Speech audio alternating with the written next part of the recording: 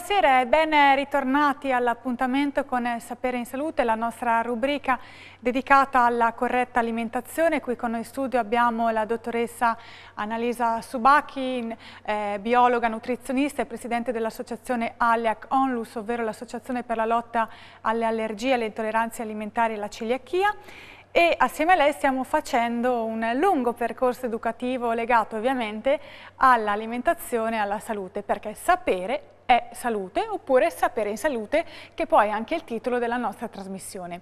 L'argomento che abbiamo deciso di affrontare questa sera è a ampio spettro perché analizzeremo il problema delle allergie e delle intolleranze alimentari. È, un sottile, è una sottile differenza che esiste tra i due però sono tantissime le persone che hanno problemi di intolleranza alimentare e altrettanto tante quelle allergiche. Quindi cerchiamo di capire assieme alla dottoressa, eh, cercheremo di fare un pochino di chiarezza in merito a questo argomento. Cercheremo di capire quali sono le sostanze che possono creare maggiore intolleranza e maggiore allergia. Certo, buonasera a tutti, grazie di avermi invitato. E ovviamente come sempre qui con noi in studio abbiamo una persona, una eh, signora che ci racconterà la sua storia, la sua testimonianza perché eh, Tatiana è una donna di quanti sì, anni? 40. Di 40 anni che soffre di tante problematiche allergiche, giusto? Sì. Ho iniziato da adolescente con varie allergie respiratorie, graminacee, betulacee, e anche agli animali, gli acari, insomma negli anni diciamo che si sono sempre più aggiunte purtroppo. Diciamo che è una bella rosa, un sì, bel carnet di da, da, da, tante carte da giocare, sì. ma eh, diciamo qual è stato il suo percorso? Immagino che lei utilizzasse, non so, antistaminici? Eh, sì, io da adolescente ho iniziato subito a uh, fare i vaccini, in periodi ciclicamente, in periodi mh, mm, vari. Annualmente? Ho fatto, sì, eh, vaccino, però effettivamente ho visto che negli anni eh, quando sono migliorati un po' un attimino quelle che sono le, le fastidi agli occhi, al naso, eccetera, ah, sono iniziati invece problemi alimentari, fastidi proprio di digestione, di dolori e quindi ci è voluto un, un, po' per capire quale fosse effettivamente il problema e che era legato all'allergia respiratoria. Ecco, allora io intanto la ringrazio Tatiana, poi cercheremo di capire come si è evoluto un pochino il suo percorso in modo da far capire anche ai telespettatori a casa che se uno, una persona ha un problema eh, diciamo asmatico che pensa di essere allergico eh, alle graminacee, adesso siamo proprio nel periodo clou dell'anno, no? eh, non, non deve pensare di risolvere solo utilizzando cortisonici o antistaminici. Ovviamente nei casi più gravi sì, eh, si deve fare perché questi possono salvare anche la vita nelle condizioni diciamo quelle più pericolose, ma tutto parte da una corretta alimentazione e un corretto stile di vita e questo ce lo può insegnare la dottoressa Subacchi e qui per questo questa sera cerchiamo di capire il stretto legame che esiste tra alimentazione e allergia. Innanzitutto diamo una definizione di allergie e intolleranze alimentari perché spesso vengono fraintese. Vengono fraintese perché eh, la differenza è proprio minima, è proprio sottile. Diciamo che l'allergia è una risposta immediata nei confronti dell'assunzione di un alimento o nell'aver respirato una determinata sostanza. Quindi per esempio sono allergico alle graminacee, tagliano il tampo, campo di frumento, comincio a starnutire. Oppure sono allergico al pomodoro, mangio il pomodoro, sto male immediatamente, mi gonfio, ho scariche di diarrea, dissenteria, eccetera, eccetera. L'intolleranza invece eh, dà la stessa sintomatologia dell'allergia, però eh, consiste in un accumulo superiore di questi alimenti fino ad arrivare all'ennesimo alimento che mi crea la problematica. Cioè cosa vuol dire? Sono intollerante al pomodoro, mangio pomodori tutt'estate, probabilmente arrivo a settembre dove il mio corpo rifiuta il pomodoro e quindi mi dà una reazione che può essere anche la stessa dell'allergia, come per esempio diarrea, dissenteria. Quindi il tempo, quello che è differente tra allergia e intolleranza alimentare è il tempo. Allergia immediata, intolleranza invece è molto più lunga, quindi ha un periodo di incubazione di diversi mesi, giorni, anni addirittura. Ecco, diciamo poi che con l'allergia il sintomo è talmente forte che in quel caso si capisce subito si che capisce è un'allergia. Certo. Mentre in quella lente cronica è più subdola. Certo, può essere un banale raffreddore, può essere una banale influenza, può essere un banale mal di pancia, quindi che magari spesso non lo associamo a un'intolleranza. Intolleranza è un sinonimo di intossicazione, quindi forse per definire meglio allergia e intolleranza dovremmo definire l'allergia allergia, intolleranza intossicazione. Quindi un'intossicazione subdola continua che mi può provocare un problema. Ecco, quali sono le reazioni anche avverse che possiamo avere eh, entrando in contatto con gli alimenti? Sono le più eh, disparate, si va eh, da, eh, innanzitutto noi possiamo entrare eh, a contatto con gli alimenti per contatto, ingestione, oppure inalazione, oppure attraverso tutti gli additivi, conservanti, coloranti. Le reazioni che posso eh, sviluppare possono essere mal di pancia, gonfiore, nausea, vomito, stipsi, diarrea, ma posso anche andare incontro a aumento o diminuzione di peso aumento di ritenzione di liquidi, diminuzione di ritenzione di liquidi, quindi sono cose strane anche che non hanno a che fare semplicemente con i rash cutanei che sono tipici di un'allergia, perché quando si parla sono allergico alle graminacee la prima cosa che mi viene in mente è mi prude la cute, mi fanno solletico gli occhi, mi, mi cola il naso, mentre posso anche andare incontro a problematiche come per esempio di aumento o diminuzione di peso oppure di stipsi o di senteria. Ecco, è vero che eh, se non curiamo queste diciamo, intolleranze alimentari eh, si può andare incontro anche a patologie più gravi a livello intestinale e anche sviluppare patologie neurodegenerative? Ma assolutamente, anche perché io continuo a mettere nel corpo una sostanza tossica, una tossina, continuo a mettere sostanze nel corpo che il mio corpo rifiuta e quindi a lungo andare posso sviluppare per esempio delle ulcere, delle abrasioni, oppure posso andare incontro anche per esempio patologie neurodegenerative come la fibromialgia, dolori articolari, eh, artrite reumatoide, cioè eh, quelle problematiche che non sono correlate, sono difficili da correlare a eh, a qualcosa che paradossalmente potrebbe essere l'alimentazione stessa e quindi l'alimento stesso. Ecco, addirittura stavo guardando che tra i sintomi esiste anche, è collegata a questa problematica, la depressione, l'ansia, l'insonnia, ci sono anche le vertigini. Sì oltre alla cosiddetta tosse, quella persistente, no? certo, quella che, certo, che non dipende da, da, un batterio, da un virus o da un'infiammazione, ma semplicemente da quello che mangio. Per quanto riguarda eh, anche eh, emicranie, nevralgie, vertigini, ho persone per esempio che sono allergiche o intolleranti a determinati alimenti che accusano molto spesso queste vertigini, proprio perché la vertigine è dovuta a una eh, mancanza di digestione, cioè il mio corpo fa fatica a digerire quell'alimento e quindi mi può può creare proprio la vertigine. Quindi abbiamo visto questo aspetto. Adesso vediamo quale è il collegamento che esiste tra l'allergia e l'intolleranza. Sì. Cioè i sintomi bene o male sono gli stessi, certo. ma questa slide è molto significativa, a destra in blu abbiamo rappresentata la sintomatologia delle intolleranze che va dalla difficoltà di digerire ai dolori addominali alla sensazione di gonfiore, dall'altra parte a sinistra abbiamo la sintomatologia provocata dalle allergie come l'orticaria, la dermatite, eh, la sindrome anche della pelle irritabile, quindi questi ponfi. Se guardate in mezzo sono problematiche che sono comuni sia alle allergie che alle intolleranze, che sono problematiche che non c'entrano niente con l'allergia vera e propria, quindi con una dermatrite, perché si parla di diarrea, di stipsi, di tosse e di infezioni, intossicazioni. Quindi queste cose possono accumulare sia un'intolleranza e un'allergia. Ovviamente la difficoltà sta proprio nel capire se si tratta di un'intolleranza o di un'allergia.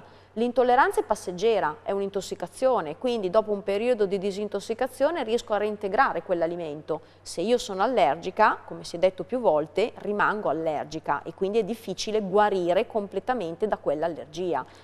Ecco, lei Tatiana è allergica o è intollerante per la Io precisione? Io sono allergica e anche intollerante in particolare ad esempio al lattosio. Io ho visto che negli anni, eh, pur mangiando, facendo attenzione ai cibi, eh, principalmente la frutta perché io vedevo la reazione immediata che mi dava fastidio, la gola o comunque gli occhi, una reazione di prurito immediata, quindi capivo che quello dovevo evitare. Però ad esempio altri alimenti che abbiamo scoperto con la dottoressa, come ad esempio frumento, una qualsiasi pasta o anche altre, alcune verdure, io non ho mai fatto attenzione più di tanto, nel senso che non pensavo ci fosse una reale corre correlazione, perché io pensavo allergia, reazione cutanea o comunque fastidio immediato. Non ho mai pensato che fosse, eh, potesse causare anche dolori di stomaco, eh, problemi all'intestino, co cosa che invece negli anni è aumentato sempre più, mentre da una parte quelle respiratorie diciamo si sono un po' assestate, quelle eh, del fisico interne sono peggiorate, quindi facevo fatica a digerire, però non capivo mai da cosa fosse dovuto realmente il problema perché magari una volta mi dava fastidio, la volta dopo no. Eh, molto spesso è questo eh, no? che, non... che trae in inganno, sì. uno non riesce bene a, decif a, decifrare perché proprio come l'hai ben detto la certo. reazione non è poi sempre immediata e uguale tutte le volte, a volte no. l'alimento magari non, non mi no. dà poi così fastidio. Nel suo caso spesso lei nasce come allergica e si è trasformata in intollerante, quindi allergica a determinate piante ed è diventata intollerante a determinati alimenti. Quindi e qui stiamo parlando del cross, no? Cioè esatto, delle... del cross reattività, quindi nasco come allergica, quindi quando taglieranno magari un campo di frumento mi darà sempre fastidio, quindi la reazione immediata, ma la cross reattività con determinati alimenti che possono reagire negativamente con la mia allergia sono un'intolleranza, quindi ritorniamo al concetto di prima, è un sintomo che magari si verifica due o tre volte, poi la quarta volta non si verifica perché è un'intossicazione e dipende anche dalla quantità di alimento che mangia, magari mi faccio una pasta col pomodoro e pochissimo pomodoro non ho la reazione, la volta dopo, la volta successiva consumo la pasta con tanto pomodoro e quindi ho una buona reazione.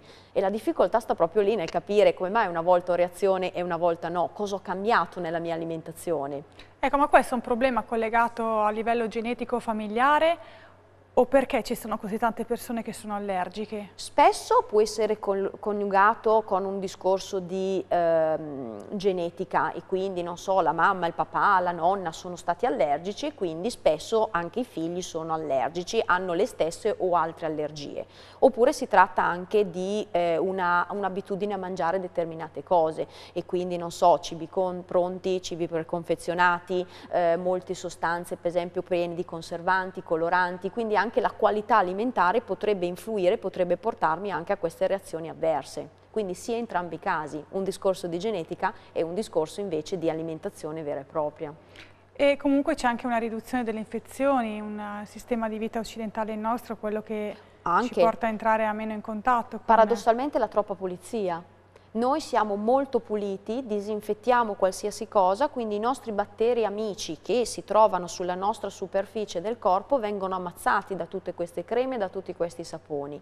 Quindi la nostra barriera di protezione primaria, che è la cute, viene ridotta e quindi queste particelle riescono a entrare nel nostro organismo, vengono individuate come sostanze estranee e quindi mi scatenano tutta una risposta infiammatoria, una reazione, una protezione del nostro corpo. Ovviamente non dico di non lavarsi, però magari magari di non essere ossessivi ogni volta che si tocca qualcosa lavarsi le mani. Quindi un po' di sana sporcizia, tra virgolette, potrebbe servire proprio per aiutarmi eh, a risolvere questo problema. Questo è un problema che stanno affrontando molti bambini. Molti bambini diventano allergici già da piccolini, quindi già sotto gli otto anni accusano queste allergie respiratorie, queste allergie alimentari, che magari si risolvono man mano crescono, però la problematica è che il bambino bambino deve mangiare questi alimenti per riuscire a crescere. Quindi se è già allergico grande, alla grande maggior parte di questi alimenti probabilmente eh, farà fatica proprio nella sua evoluzione. Ecco, qui lei ha preparato dei dati davvero piuttosto diciamo allarmanti, no? Sì. Perché questa patologia colpisce... 2-2,5% della popolazione adulta e addirittura il 7,5% sotto i due anni.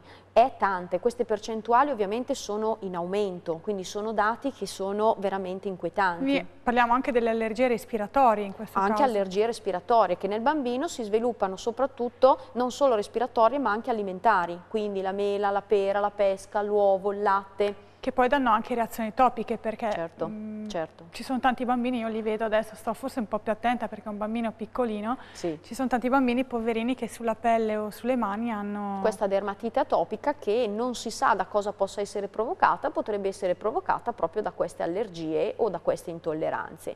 Un'altra problematica che sviluppano questi bambini è dovuta proprio al fatto che eh, non vengono più allattati molto spesso.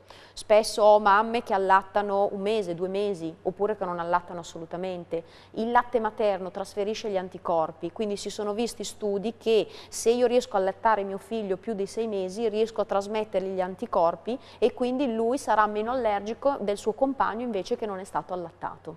Ecco, veniamo agli allergeni più comuni, quali sono? Tutti, si parte dalla carne, si passa al pesce, si passa ai crostacei, si passa al tuorlo d'uovo, alle proteine del latte, ai coloranti, conservanti, eh, alla frutta secca, quindi qualsiasi alimento può essere un allergene e quindi può sviluppare, può farmi sviluppare una risposta infiammatoria.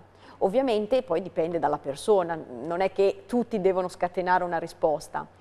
Tanti sono i test convenzionali e non convenzionali, abbiamo per esempio il Vega test, il, il test dell'iridologia, quindi guardando l'iride che viene determinato se io ho una problematica o altro, oppure un test che per esempio uso per le intolleranze alimentari, proprio il test citotossico, quindi mediante prelievo del sangue e analisi proprio dei globuli bianchi che sono i responsabili proprio del, dell'intolleranza, dell'intossicazione stessa. Con Tatiana siamo partiti eh, da un altro eh, test, siamo partiti dai suoi test allergologici, quindi lei è eh, venuta nel mio studio presentandomi tutte le allergie che aveva con l'intensità e il grado. Che lei ha fatto con... in ospedale? Sì, o? ho fatto in ospedale in vari centri perché ripeto più o meno i controlli ogni 4-5 anni e c'è una classifica di tutti quelli che sono gli allergeni più o meno gravi che, che ho.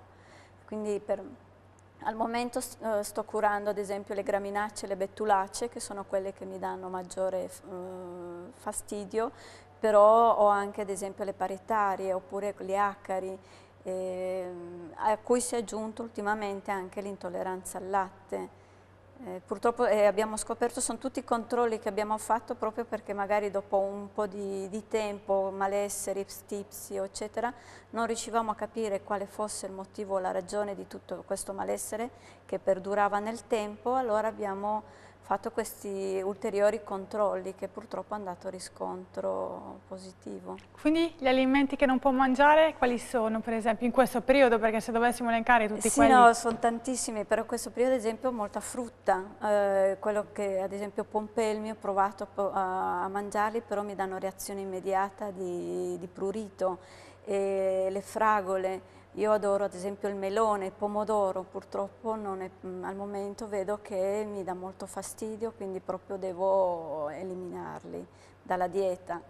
Mi consolo con altri alimenti tipo la bietola, i broccoli, insomma cercando di variare tutti i giorni l'alimentazione perché effettivamente la dieta che attualmente sto seguendo è piuttosto restrittiva e non è, non è facile, ecco, al momento mi ci devo ancora un po' abituare. È restrittiva però i risultati ci I sono risultati a ci livello sono, di salute? vedo che sono stati davvero immediati perché comunque ad esempio dopo un mese abbiamo verificato con la dottoressa che oltre a perdere peso mi sono sgonfiata molto, non ho più quei dolori lancinanti che avevo di, di stomaco, anche l'intestino è molto più regolare vedo che effettivamente ho un riscontro immediato, quindi c'è soddisfazione ecco, anche a fare questi piccoli sacrifici.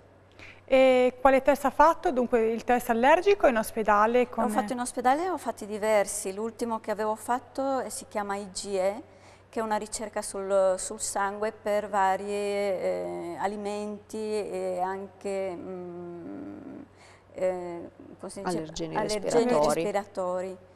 E, e purtroppo hanno purtroppo, dato ancora esito positivo sì. e quindi bisogna cominciare con un'alimentazione disintossicante e quindi togliere il più sì. possibile. Quindi con lei abbiamo cominciato eh, utilizzando la cross reattività, quindi io sono allergica alle graminacee, esistono determinati alimenti che mi danno problemi quindi crossano negativamente con la mia allergia. Dovrebbe esserci proprio una slide che elenca proprio eh, tutte queste cross reattività tra alimenti e no, eh, alberi. È Quindi lei diceva mi dà fastidio il pomodoro, mi dà fastidio il pompelmo proprio per la sua allergia alle graminacee. Chi ha problemi di alle graminacee dovrebbe eliminare anche tutti gli agrumi, dovrebbe eliminare il pomodoro, dovrebbe eliminare per esempio il kiwi, oppure dovrebbe eliminare anche la frabgola, la mela, e questa la è la cross eh, Esatto, è questa. Allora, a destra provata. abbiamo eh, la classificazione delle allergie presenti nei determinati mesi. Per esempio la betulla, la fioritura inizia a gennaio e termina più o meno ad aprile. Chi è allergico alla betulla dovrebbe stare attenta anche a questi alimenti, la mela, la pera, la pesca, l'albicocca, la prugna, la ciliegia, la banana, la noce, la nocciola, il sedano e la carota, ma soprattutto nel periodo dell'impollinazione. Perché fanno parte di quella famiglia di piante, giusto? Non fanno parte No? di quella famiglia, ma è come se mangiando una mela il mio corpo ricevesse eh, un'informazione che quella è betulla e quindi deve attaccarla. E quindi si parla di cross reattività, cioè come se io mangiando una mela stessi in un campo di betulle e respirassi la betulla. Quindi il mio corpo vede la mela come un antagonista e quindi la va ad attaccare e mi scatena quella reazione allergica che può essere gonfiore, ponfi, ma può essere anche per esempio aumento di peso, eh, cattiva digestione. Eh, lo scopo è eliminare quei periodi, sopra quegli alimenti, soprattutto nel periodo dell'impollinazione. Lei è allergica a tutti questi alimenti, è allergica a tutte queste piante, quindi non è che possiamo eliminarle completamente. A seconda del mese in cui ci troviamo, cominciamo a eliminare quel determinato. Quindi diciamo che una persona allergica alle betulle, se si fa una centrifuga di mela e carota in questo periodo, non va molto Non bene. va molto bene. Magari la possiamo fare ad agosto, la possiamo fare a settembre, quando non c'è più l'impollinazione della, della betulla. Poi bisogna fare attenzione perché se poi sono allergico alle graminacee, sappiamo che la pera, la pesca e la bicocca fanno parte anche delle graminacee, quindi dovrò stare attento anche a questi alimenti a settembre perché le graminacee vanno da un periodo più ampio, da aprile fino a settembre. Diventa difficile, tra virgolette, poi dopo un allergico impara col tempo, viene seguito passo passo proprio per imparare qual è la sua problematica e lo scopo è proprio quello di inserire ogni volta, ogni tanto questi alimenti e come diceva lei vado a verificare se mi pizzica in bocca perché quello che succede nel palato succede anche a livello intestinale. Quindi se io mangio il pompelmo e vedo che pizzica magari lo tengo da parte provo un altro eh, agrume magari provo l'arancia e mi dà meno problemi. Se mi dà meno problemi magari comincio a mangiare quella quindi è proprio capire cosa ci dà fastidio e cosa invece no e utilizzare quello nella mia alimentazione ecco, succede a livello intestinale, ma succede anche a livello dei nostri globuli. I globuli bianchi Si che spaccano, sono, no? esatto, sono i responsabili dell'infiammazione. Forse c'è una slide, eh, esatto, dove il globulo bianco a contatto con un alimento che crea fastidio, lui libera, si spacca, cioè libera le sostanze infiammatorie, quelle sostanze infiammatorie che mi provocano gonfiore, mi provocano ritenzione di liquidi, mi provocano magari eh, una lacrimazione, mi provocano dei rash cutanei, quindi una reazione allergica. Questo è visto mediante il prelievo del sangue, quindi non è eh, il famoso prick o patch test dove eh, mi pungono con un alimento a cui io sono allergico e vado a vedere la reazione, ma semplicemente viene prelevato il sangue e si va a vedere come reagiscono i miei globuli bianchi a contatto proprio con gli alimenti. E questa invece cosa... Questo è sempre un sangue, questa è una diapositiva, è una slide dove c'è uno striscio di sangue visto al microscopio, dove in rosso abbiamo i globuli rossi e quelli segnati con la freccia blu sono tutti globuli bianchi. Questo è un controllo negativo. Forse la slide successiva questa fa vedere effettivamente che il globulo bianco, dove c'è scritto globulo bianco di terzo grado e di primo grado, si è spaccato, quindi ha reagito nei confronti di questo che era un sodio nitrato, che era un conservante e ha creato un'irritazione. Quindi quando noi leggiamo sull'etichetta sodio nitrato, Sì, se io sono se- intollerante se o allergico a quella sta sostanza, il nostro globulo diventerà così, addirittura Certo. può spaccarsi in, Completamente. completamente. il terzo grado vuol dire che si spacca completamente, secondo è una reazione meno grave, primo è una reazione meno grave ancora. Però la reazione più grave può crearmi delle problematiche serie, che possono essere anche dissenteria. Questo per esempio è l'acido citrico, un altro conservante, perché questo test viene utilizzato anche per i vari conservanti, quindi posso andare anche a indagare se mi danno problemi i conservanti. E questa è una slide dove in blu sono rappresentati proprio i globuli bianchi che si stanno spaccando. Con l'acido citrico, l'acido ascorbico. qualcosa. L'acido ascorbico è un altro di queste sostanze che Ma si trovano. Ma cosa servono? Sono dei conservanti? Sono degli antimuffa, quindi ammazzano tutto ciò che è vitale in un alimento. Quindi se io li mangio mi ammazzano la mia flora batterica intestinale, quindi abbasso le mie difese immunitarie e quindi prendo magari fermenti lattici perché ho problematiche intestinali. Ecco, bello perché si trovano praticamente in tutti gli sono alimenti. ubiquitari. Ehm, l'acido ascorbico come l'acido citrico non sono quelli eh, naturali del limone, ma sono quelli di sintesi e che si trovano per esempio nelle scatolette dei legumi. Quando aprite la scatoletta dei legumi, la mettete sotto l'acqua e forma la famosa schiumetta, quello è acido citrico. Però con i legumi legumi riesco a toglierlo, se mangio un'altra sostanza come il pomodoro, la conserva di pomodoro che ha dentro questo acido citrico non riesco a scolarlo e quindi lo mangio direttamente. Ecco, qui stiamo vedendo le varie piante che eh, possono, possono, creare le allergie, le abbiamo viste prima, no? Praticamente le... tutto. La maggior parte eh, di noi italiani sono allergici alle graminacee. Graminacee è il frumento graminacea la troviamo soprattutto in pianura padana, troviamo campi di graminacee. Loro hanno problemi soprattutto nel periodo di settembre-ottobre, quando fine agosto, quando cominciano proprio a tagliare eh, le, le grano turco e tutto. Comunque abbiamo anche per esempio le ortiche che possono creare problemi, l'ambrosia, eh, la parietaria, quindi praticamente tutte le piante possono essere interessate. Qui stiamo vedendo comunque la, collegamento che esiste tra le allergie e le intolleranze, forse ne abbiamo già parlato anche prima. Sì. E eh, questa è la cross reattività. Quindi, concludendo la nostra trasmissione, se noi siamo allergici e intolleranti, una soluzione c'è che non sia a base di cortisonici o antistaminici? Una soluzione c'è, mm, bilanciando al meglio la mia dieta ed evitando quegli alimenti che crossano con la mia allergia. Ovviamente la problematica si presenta in primavera, dove la variabile respiratoria non la posso controllare, quindi i pollini... Quella è incontrollabile quindi? No, perché o metto la mascherina e quindi giro con una mascherina, però l'aria e il vento mi trasportano questi pollini. Però è anche vero che se noi mangiamo determinati alimenti... Posso abbassare la mia soglia di allergia e quindi posso star male meno rispetto eh, all'anno precedente dove per esempio ho mangiato tutti questi alimenti che mi creavano reazione. Quindi in primavera posso magari vivere un po' meglio e fare meno uso di cortisonici o di antistaminici, che non curano il problema ma alleviano il dolore, alleviano il problema. Tatiana, lei allora quale sarà il, secondo lei la sua prospettiva di futuro? Ma io penso forse... Quale sarà il suo obiettivo? L'obiettivo è sicuramente di tornare a un'alimentazione più possibile completa, sono anche consapevole che comunque ci vorrà ancora molto tempo, sicuramente penso ancora tutto questo anno, per regolare la funzione, lo stomaco e l'intestino, però sono fiduciosa. Ecco, se non si tiene sotto controllo questo problema, ricordiamolo infine, a quali patologie si può andare incontro? Patologie intestinali, ulcere, eh, patologie tumorali, patologie neurodegenerative, quindi non è assolutamente da sottovalutare. E se sono bambini?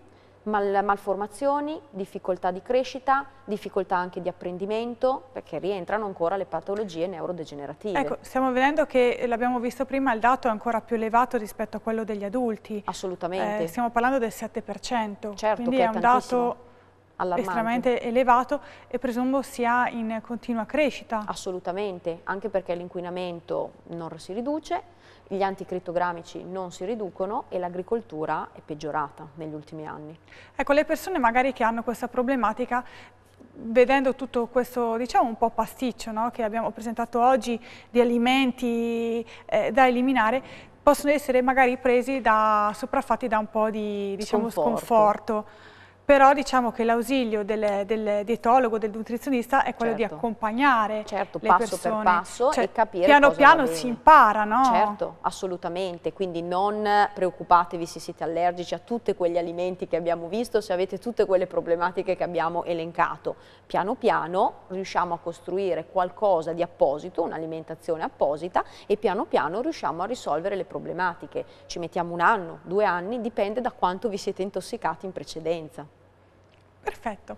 Dottoressa, io la ringrazio, oggi sono stata molto attenta perché io sono asmatica allergica e quindi anche questo è il mio periodo clou dell'anno e sto sempre molto attenta eh, a quello che mangio perché so benissimo che se abuso di determinati alimenti che adoro, tipo i carboidrati, è una cosa che certo. il frumento in questo momento, se sì. lo mangio, mi crea una, una bella crisi asmatica, quindi lo devo assolutamente bandire e so anche che tanti alimenti possono aumentare la mia allergia. Certo. E purtroppo andando anche negli ospedali sono tantissime le persone che hanno diverse problematiche sì. e sono veramente convinta che una corretta alimentazione di esclusione certo, possa veramente essere un sì. valido aiuto perché io il cortisone in questo momento è già da un po' che l'ho abbandonato e quindi devo dirvi che sono sono molto soddisfatta di, del, del, percorso che sto facendo, incrocio le dita perché insomma, bisogna stare sempre attenti, no sempre, Tatiana? Sempre controllarsi, sempre verificare bene la composizione degli alimenti. Quello è un vero stile di vita. Davvero, sì, un nuovo stile di vita. Va bene, io dottoressa la ringrazio ancora, ringrazio Grazie. ancora Tatiana Grazie per averci portato la sua esperienza. Eh, se avete delle domande da porre alla dottoressa Subacchi per l'argomento di questa serata o di tutte le altre tematiche che abbiamo affrontato anche nelle scorse puntate, dalla dieta vegetariana alla dieta di coppia, alla dieta dello sportivo, eh, all'allattamento, alla gravidanza, ai bambini, eh, qualsiasi mh, le intolleranze, le allergie, diversi, il nickel, potete, insomma, eh, è un ampio spettro, eh, ah, è un argomento di, di, vasto campo, quello che eh, affronta la dottoressa Subacchi, potete farlo utilizzando il sito internet che è aliaconlus.org, del quale lei poi è anche presidente di questa associazione, che è l'associazione per la lotta delle intolleranze alimentari e della celiachia, sul sito Facebook Lisa Nutrizionista oppure nei suoi studi di Cremone via Giuseppina 21, Crema via La Pira 8, Manerbio via Verdi 64 e al cellulare 366 4759 134. Vi ringrazio ancora per averci seguito. Buonasera dottoressa, la, ci rivedremo di nuovo nei nostri studi e mi raccomando perché mi eh, preme ricordarvi che sapere è salute oppure sapere in salute. Grazie ancora e buon proseguimento di serata. Arrivederci.